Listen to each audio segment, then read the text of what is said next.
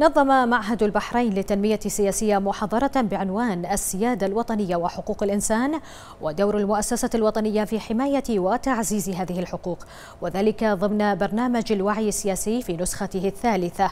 حيث أكد الدكتور مال الله الحمادي عضو مجلس المفوضين في المؤسسة الوطنية لحقوق الإنسان أن المؤسسة إحدى ثمار المشروع الإصلاحي لحضرة صاحب الجلالة الملك المفدى حفظه الله ورعاه القائم على مبدأ الديمقراطية وسيادة القانون واحترام وتعزيز وحماية حقوق الإنسان للجميع دون استثناء أو تمييز على الإطلاق. مشيرا أن المنظومة التشريعية في المملكة متقدمة على نحو كبير في مجال موائمتها مع المعايير الدولية والإقليمية لحقوق الإنسان.